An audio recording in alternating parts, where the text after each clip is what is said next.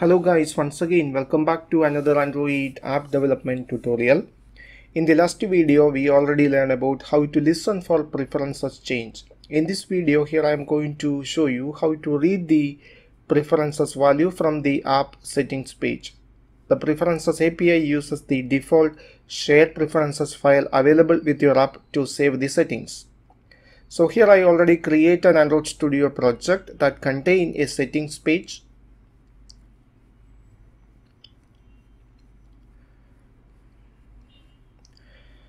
Uh, now go to the settings page. So here the app settings page contains some preferences. Here we have a checkbox preferences and here we have two list preferences and here we have another two checkbox preferences. Now I'm going to show you how to read these preferences values from the shared preferences file. So first we have to create the user interface for display the preferences values. So here I add some text to view text to view to display the preferences values.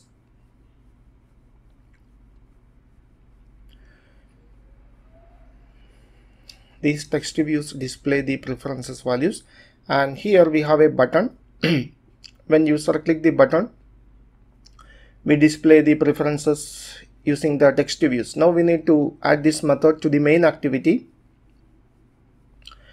so here is the method so before going to read the preferences here I need some variables so here I add some static final string variables all these variables indicates the key of preferences available in the app settings page.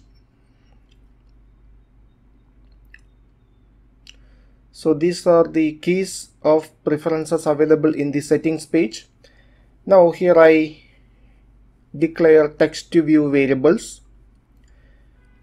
Now we need to initialize these text to view variables. Okay, here I initialize all the needed text to view variables using find view by ID method. Okay, now we can read the user preferences. So you can call the shared prefer you can get the shared preferences file from any activity available in your project. So preference manager dot get default shared preferences and pass the context. So now we can read the preferences and display using text views. So first here I read the delete all the message status. Message delete status. It is a boolean value. So string dot values of shared preferences dot get boolean. Now specify key for the preference. It is preference. Uh, delete all the messages. Now specify the default value okay now we can read the SMS and MMS delete limit SMS delete limit it is a string value so get string specify the key of the preference. Now specify a default value so here I pass 0 as default value. Now I have to do the same thing for MMS also. Okay. So now we can read the preferences for delivery report for SMS and MMS so um, SMS uh, delivery report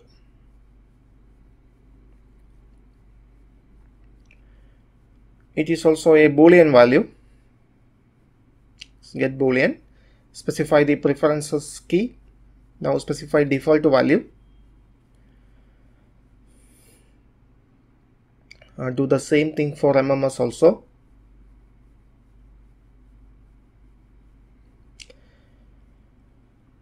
Okay now we can test our project. So I run the project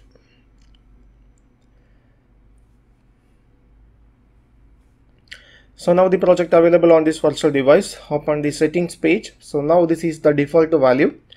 First checkbox is true. And uh, here the default values are 500 delivery report true for SMS MMS it is false. So now we can read the value. So these are the initial values. Delete message status is true. SMS and MMS delete limit 500 SMS delivery report true. Other MMS is false. Now we can modify some values. I change SMS value into 150 and MMS value into 300 also here I am going to disable SMS delivery report but I am going to enable MMS delivery report. Okay now we can read the data again. And here is the updated value SMS limit now 150 MMS 500 300 MMS delivery report is now true so this is how we read the preferences values from preferences API I hope you understand the concept